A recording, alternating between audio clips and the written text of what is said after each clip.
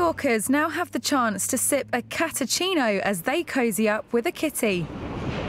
Yes, North America's first ever Cats Cafe has popped up in the city's Lower East Side for the perfect place for a coffee, conversation, and cats.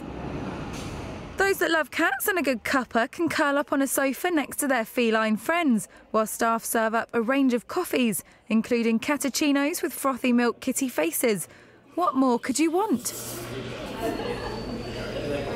The Cat Cafe by Purina One is a pop-up. It lasts for four days, and we're hoping that the conversations and the education that happens here lasts far beyond that.